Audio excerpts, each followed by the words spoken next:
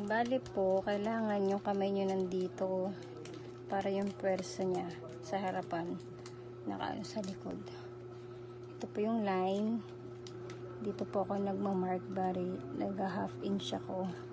Yan po yung line. Ayan po. Yan. Tsaka ko po siya pinipress. Ito po yung likod ah. Press. Tapos kaliwat kanan. Yan po siya.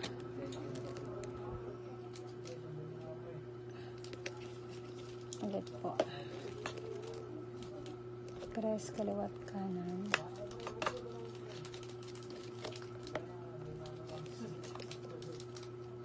Press kaliwat kanan. Magdag lang po tayo. Press kaliwat kanan.